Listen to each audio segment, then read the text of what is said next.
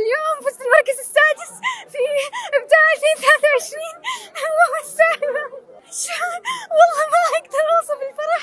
الحمد لله. الحمد لله. والله ما ما مستوعبة. إلى الآن الحمد لله. الحمد لله. اولا الحمد لله.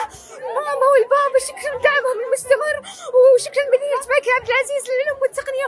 ودائما آه شكرا الموهبة على هذه الفرصة.